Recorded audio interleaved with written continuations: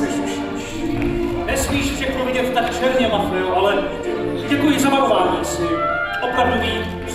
Napínavý příběh plný zvratů, ve kterém diváci najdou vše, tedy lásku, vášeň, intriky, nenávist a romantický laděný boj jedince proti společnosti.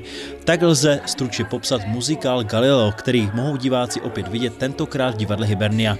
Ve většině rolích se objeví původní herci, kteří účinkovali před 15 lety. Naší kamerou jsme zachytili první zkoušku, ale i pocity hlavních aktérů.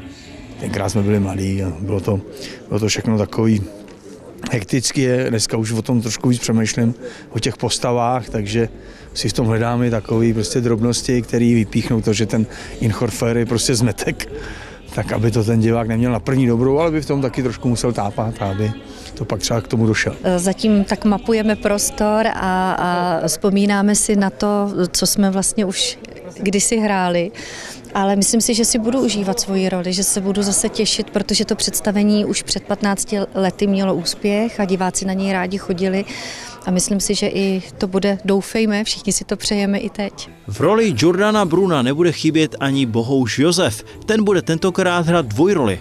Mám uh, roli Jordana Bruna, uh, což byl takový uh, spolu eh, poutník eh, Galileo Galilei a já tam potom ještě hraju eh, roli takového vypravěče a flašinetáře. No a jako užívám se to, jako po těch letech je to se fajn se vrátit na zpátek mezi prakticky ty samý lidi, tak je to úžasný. Spoustu zlata. A. Zlata stejně jako hnoje. Pokrk ve zlatě,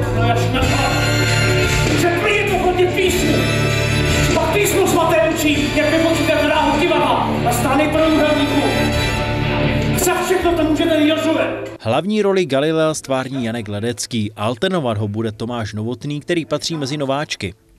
Ta výzva za prvé jako pracovní a na té postavě, no, že hraju někoho, koho kdo opravdu žil a i tak symbolicky nad, můžu dát nějak, vzdát nějaký hold. Podrobnější informace týkající se představení naleznou zájemci na webových stránkách divadla Hibernia.